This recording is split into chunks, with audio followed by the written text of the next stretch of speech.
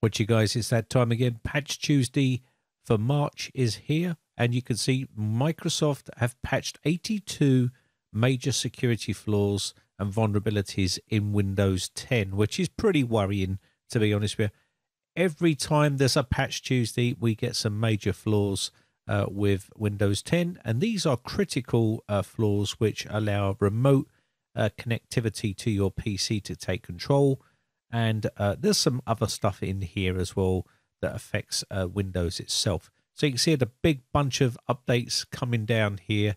And uh, if you're one of these people that don't update, obviously you're going to be vulnerable to these uh, security flaws. So it's always advisable to get security updates. Now you can see I've got my update set to uh, manual update rather than automatic update. Now, again, another thing I want to make clear here, these are security updates to fix security issues with Windows 10. These are not feature updates.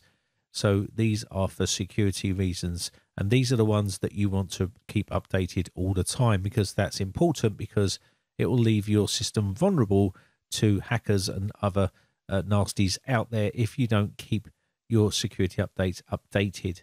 So don't get the two confused, okay? Now I'm going to need to do a reboot here and it does take a couple of reboots to get these updates installed. So you can see I've already rebooted the system and I've done the update again because I've got mine set to manual. And basically I'm going to need to restart the system again to get these downloaded and installed on the system.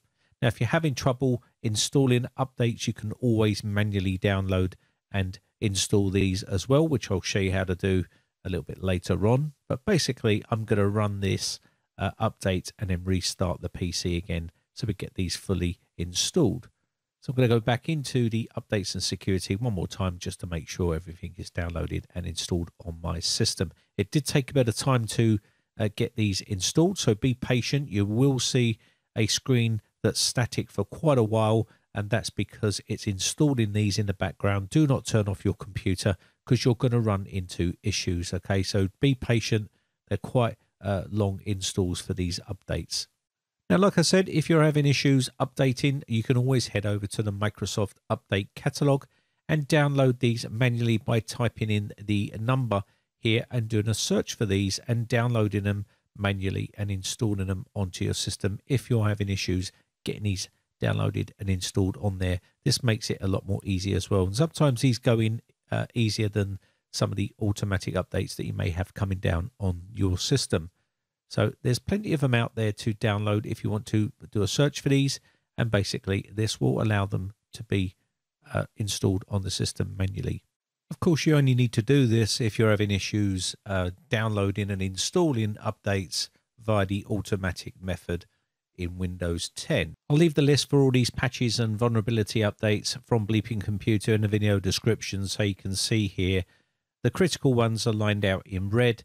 You can see Internet Explorer, uh, memory uh, corruption, vulnerability, and it gives you the link there where you can click on it and read it as well. They're all listed down here. There's a bunch of them here in red which are critical that need uh, updating as well.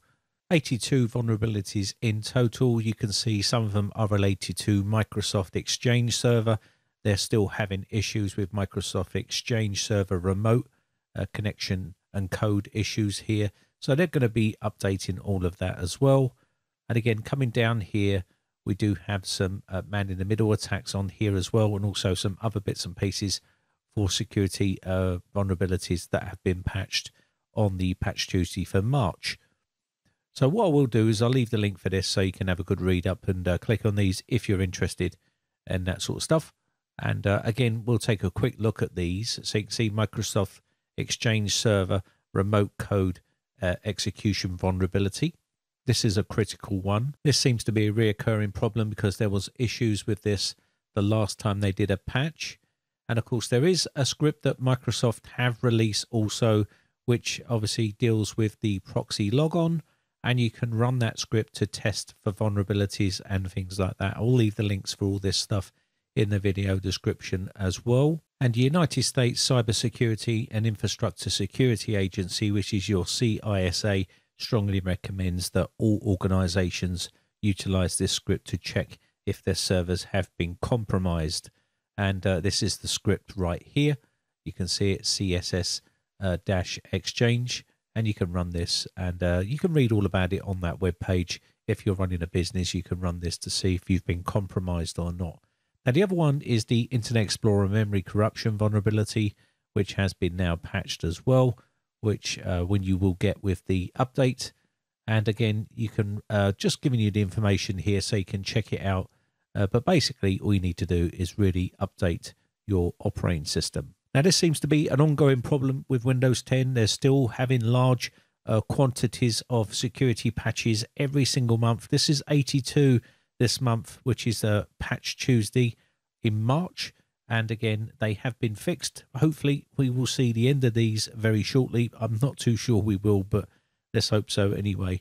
Anyway, with that said, I think that's going to be about it for this video. Uh, my name has been Brian from briteccomputers.co.uk. I will leave all the information in a video description. Don't forget, patch your PCs as soon as you can, and I shall see you again for another video real soon. Bye for now.